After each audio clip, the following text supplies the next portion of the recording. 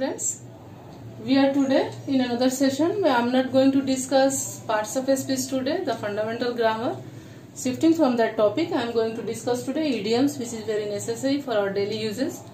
And uh, what is idioms? Idioms kise kehte हैं जिस तरह से हम किसी चीज़ को डेकोरेट करते हैं, किसी आदमी को, किसी जगह को, किसी पेंडल, किसी स्टेज किसी चीज़ को डेकोरेट करते हैं अट्रैक्टिव बनाने के लिए। इन द सेम वे अपनी भाषा को अट्रैक्टिव बनाने के लिए, ज़्यादा इंटरेस्टिंग बनाने के लिए हम इडियम्स का प्रयोग राइटिंग्स में या स्पीच में करें तो ये ज़्यादा अच्छा होता है। तो हम लोग कुछ इडियम्स यहाँ पे डिस्कस करेंगे और मैं आपसे बार बार ये रिक्वेस्ट करूँगी कि आप जो कुछ पढ़ते हो, उसको प्रैक्टिकल में यूज़ कीजिए। अदरवाइज़ इसको एक्सरसाइज बुक में नोट करके रख देने से ये आपका कोई फ़ायदे में आने वाला नहीं है। हम इस तरह से इसको डिस्कस करेंगे कि आपके मेमोरी में परमानेंट बैठ जाए और आप इसको फिर से अलग से इसको मेमोराइज करने की कोई ज़रूरत ना हो। तो यहाँ पे हम करेंगे पहला जो है come up with flying colours come up with flying colours बच्चों, क्या होता था? एंशियंट एज में शिप्स होते थे। हर शिप्स का एक अपना फ्लैग होता था। जब वे किसी मिशन पे जाते थे तो वे लोग क्या करके आते थे वहाँ से? जब सक्सेसफुल होके आते थे तो उधर से उनके फ्लैग्स जो होते थे वो उड़ते हुए एक, एक खुशी का मैसेज देते हुए आते थे। तो कम विथ फ्लाइंग कलर्स का मतलब होता है बीइंग सक्सेसफुल जब कोई चीज़ ग्रैंड सक्सेस के साथ हम लोग आते हैं तो बोलते हैं कि I come up with flying colours in my exam I come up with flying colours with my you know very challenging situation तो ये सारी चीज़ें होती है come up with flying colours that means be successful a grand success next hoping against hope hope मतलब क्या होती है? उम्मीद। कभी कभी ऐसा होता है बच्चों कि हमारे कोई डियर वंस कोई हॉस्पिटलाइज्ड है डॉक्टर ने ऐसा एक एक मैसेज दिया है कि काफ़ी कम चांसेस है रिकवरी के। फिर भी हमारे दिल में कहीं ना कहीं एक उम्मीद होती है कि मे भी सब मिराकल्स हैपन मे भी कुछ ऐसा हो जाए God will with us and हम क्या करेंगे? हमारा वो जो पेशेंट को हम हँसी खुशी लेकर के घर वापस आएँगे।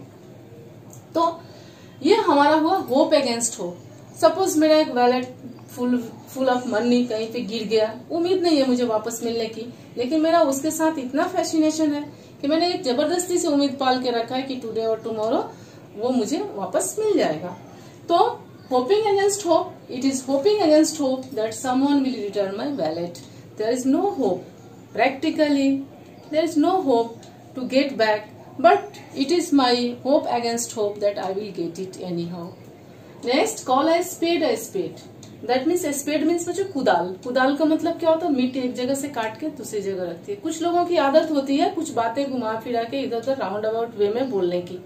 लेकिन जब हम बोलते हैं कि please don't mess up the matter please be precise and say whatever you have to say very clearly very to the point then we call it call a spade a spade please call a spade a spade don't mess around next once in a blue moon बच्चों, आप सभी जानते हो moon का colour क्या होता है? Milky होता है व्हाइट होता है. There is no such moon which is called blue moon but it is very rare the things which happen rarely use to say that once in a blue moon as once in a blue moon the blue jay may can be seen in the parts of the forest तो blue once in a blue moon का मतलब होता है something which happen rarely unexpectedly next beating around the bush bush मतलब झाड़ी। जब हम झाड़ी को पीटते हैं, वहाँ से हमें कुछ भी बैक नहीं मिलता है। अगर हमको स्नेक को हिट करना है, हमको स्नेक के ऊपर हिट करना पड़ेगा। अगर हमको किसी इंसेक्ट को हिट करना है, हमको किसी इंसेक्ट के ऊपर हिट करना पड़ेगा।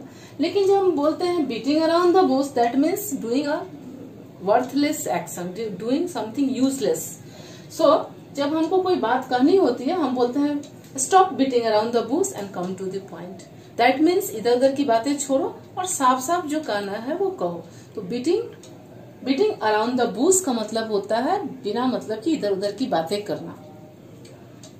चिप ऑन योर शोल्डर मतलब एक चीज़ जो आपके पर्सनालिटी के साथ, आपके आइडेंटिटी के साथ अटैच हो गया है।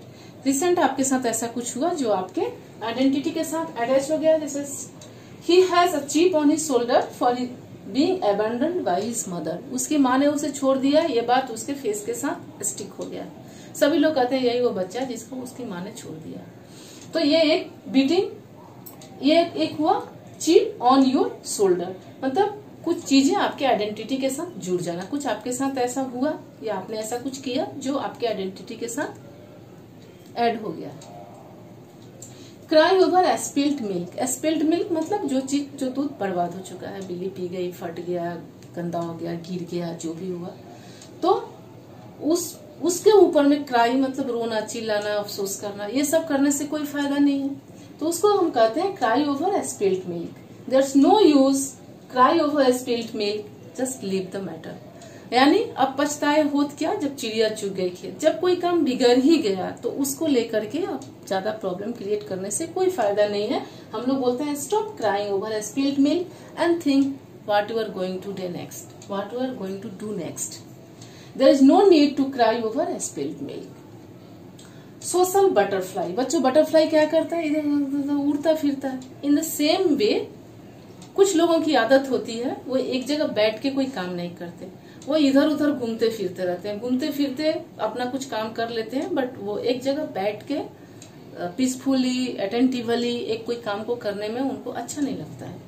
तो उस उस such type of personality such type of person is known as social butterfly I am a social butterfly I don't want to sit in the same place and working hour after hour तो इस तरह के nature वाले लोगों को हम कहते हैं social butterfly and albatross around the neck albatross एक बिग बर्ड है, जो सी सी सी बर्ड है।